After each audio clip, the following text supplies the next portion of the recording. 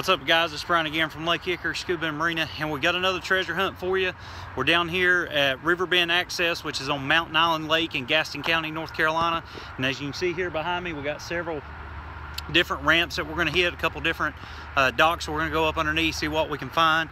We got a bridge here behind us. This, from what I'm un, or from what I'm told, this is a very very busy access. It's probably the the most busiest access here on this lake. So hopefully we'll have a good day of treasure hunt. So come on with us. We'll see what we find.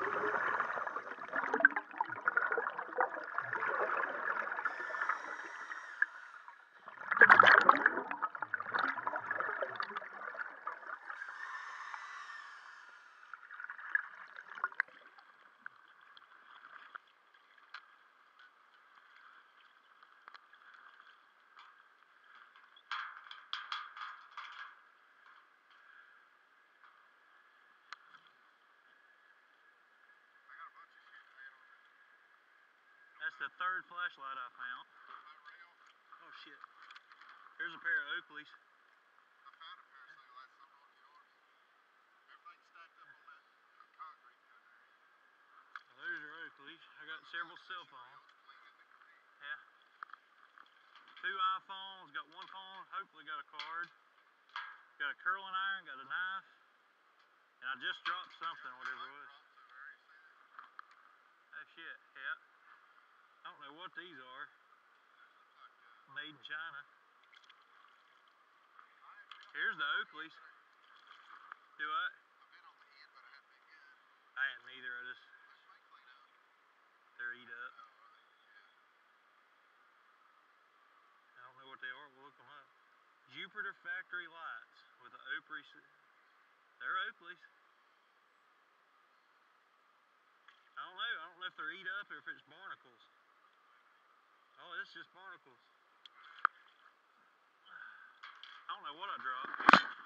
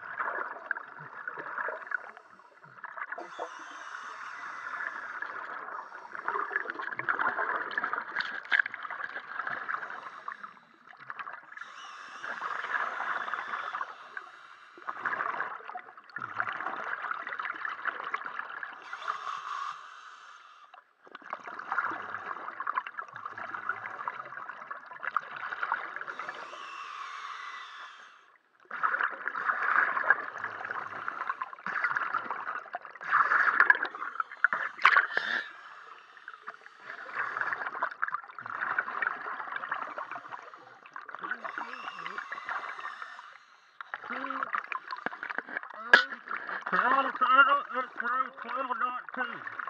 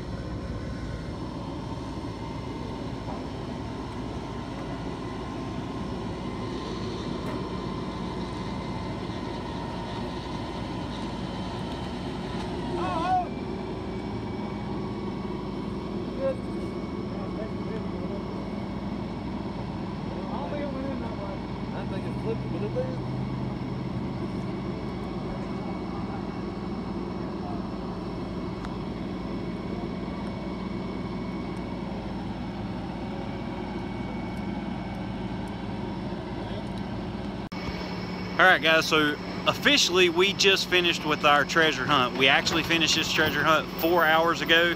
Unfortunately, I apologize for not showing you all the stuff we found. We did find one pair of Oakleys, uh, found a couple uh, boat props or motor props, a couple other little neat items, but the coolest find is actually here behind me. We actually found a car, and we just happened to be swimming along. It was in 10 foot of depth of water. We come across the car, we immediately marked it, uh, you know, we called the local law enforcement agency out. They came out, ran the tag, come to find out it was stolen. So as you can see here, the wrecker service is kind of having a, a, little party here with it, but uh, took us about four hours to actually get it out. They had to call two wrecker services.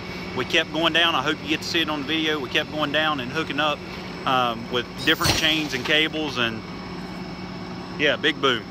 But uh, we're gonna go over here now, see if there's anybody in it, see if there's anything that we might be able to salvage. So guys, I really appreciate you coming on with this treasure hunt with us. Uh, I hope you enjoyed it. Take care, guys.